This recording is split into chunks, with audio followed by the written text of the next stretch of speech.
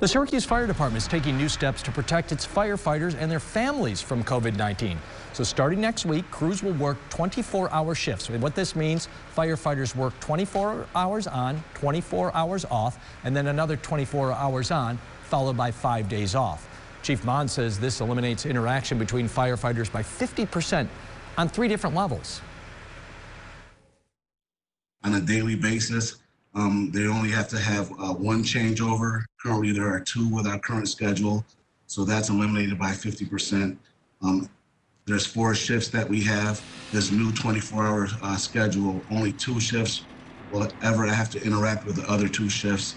And then on a monthly basis, um, usually our firefighters come in for uh, 16 shifts per month. Now that will be reduced down to eight. Chief Monds expects this schedule to last until June, but of course it could be extended to September or longer if necessary. We want to welcome back Dr. Stephen Thomas, infectious diseases expert at Upstate University Hospital tonight.